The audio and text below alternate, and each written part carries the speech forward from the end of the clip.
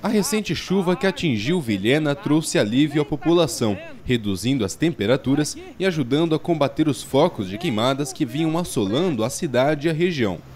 Aí, tem base? Mas rapaz, mas vai aonde com isso aqui, gente? Contudo, junto com o alívio, a chuva reacendeu uma preocupação antiga. Uma erosão às margens da BR-364 na saída para Pimenta Bueno.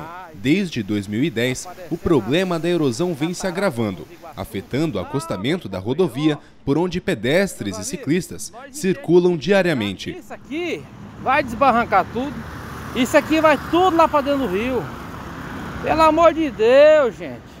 A erosão que começou a avançar para o acostamento há mais de uma década já causou o colapso de postes e a queda de pinheiros até 2013 sem que intervenções definitivas fossem realizadas.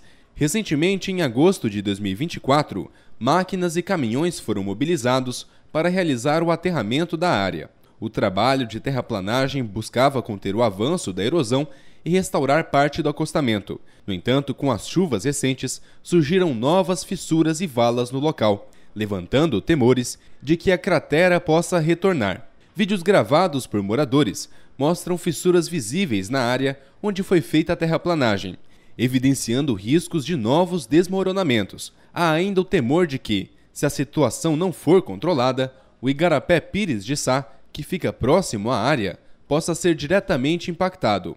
Enquanto a população comemora o alívio trazido pela chuva, a preocupação com a erosão na BR-364 continua sendo uma questão urgente.